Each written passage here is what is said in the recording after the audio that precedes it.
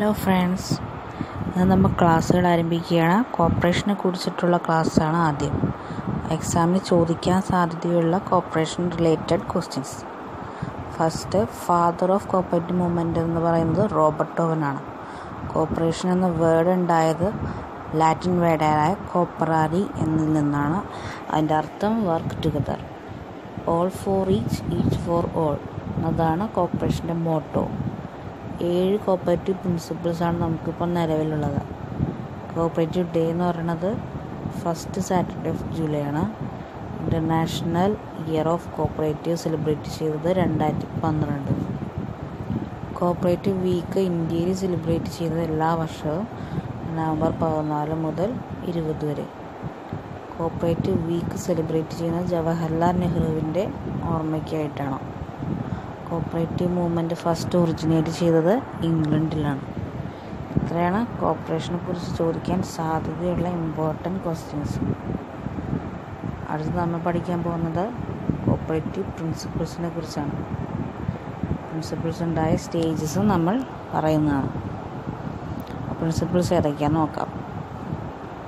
ഏഴ് പ്രിൻസിപ്പിൾസ് ഉള്ളത്.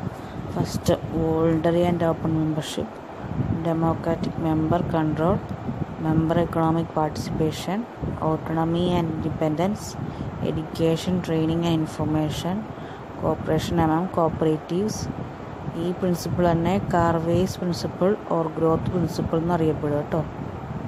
Concern for community ഇതാണ് ലാസ്റ്റായിട്ട് കൂട്ടിച്ചേർത്ത സെവൻത്ത് പ്രിൻസിപ്പിൾ ഈ ഏഴ് പ്രിൻസിപ്പിൾസാണ് നമുക്കിപ്പോൾ നിലവിലുള്ളത്.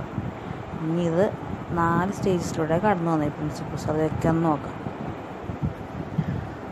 ഫസ്റ്റ് ആയിരത്തി എണ്ണൂറ്റി നാൽപ്പത്തിനാലിൽ റോച്ചിഡെയിൽ പൈനേഴ്സിന്റെ നേതൃത്വത്തിൽ ക്രിയേറ്റ് ചെയ്ത പ്രിൻസിപ്പിൾസ് ആണ് ഉണ്ടായിരുന്നത്. ഫസ്റ്റ് സ്റ്റേജ് എന്നറിയപ്പെടും ആയിരത്തി തൊള്ളായിരത്തി മുപ്പത്തിനാലിൽ ഈ സെയിം പ്രിൻസിപ്പിൾസ് റിവാലുവേറ്റ് ചെയ്യുന്നതിനായിട്ട് ഐ സി ഒരു കമ്മിറ്റി നിയോഗിച്ചു.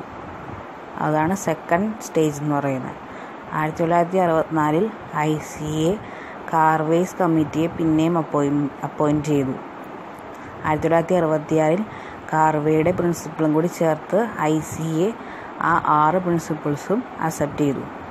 അതാണ് തേർഡ് സ്റ്റേജ് ആയിരത്തി തൊള്ളായിരത്തി തൊണ്ണൂറ്റി രണ്ടിലെ ഐ സി എ അയൻ മാക്പേഴ്സിന്റെ നേതൃത്വത്തിൽ അടുത്തൊരു കമ്മിറ്റിയെ നിയോഗിച്ചു. ആയിരത്തി തൊള്ളായിരത്തി തൊണ്ണൂറ്റി അഞ്ചിൽ കോപ്പറേറ്റീവ് പ്രിൻസിപ്പിൾസ് ഇപ്പോൾ ഉള്ളത് നിലവിൽ വന്നു. അതായത് ഏഴാമത്തെ കൺസേൺ ഫോർ കമ്മ്യൂണിറ്റി എന്ന പ്രിൻസിപ്പിളും കൂടി ചേർത്താണ് ഇപ്പോഴുള്ള കോപ്പറേറ്റീവ് പ്രിൻസിപ്പിൾസ് ഏഴെണ്ണം. ആയിരത്തി തൊള്ളായിരത്തി തൊണ്ണൂറ്റി അഞ്ചിൽ നിലവിൽ വന്നത്. ഈ ഫോർ സ്റ്റേജസ് ഇമ്പോർട്ടന്റ് ആണ്. അതിന്റെ ഇയറുകളും പഠിച്ചു വെക്കുക. അപ്പോൾ ഇന്നത്തെ ക്ലാസ് ഇത്രേ ഉള്ളൂ. എല്ലാവർക്കും ക്ലാസ്സുകൾ ഇഷ്ടമായെങ്കിൽ ചാനൽ സബ്സ്ക്രൈബ് ചെയ്യുക ഷെയർ ചെയ്യുക. അടുത്ത ക്ലാസ്സുകൾ അടുത്ത് തന്നെ ഇടുന്നതായിരിക്കും. താങ്ക്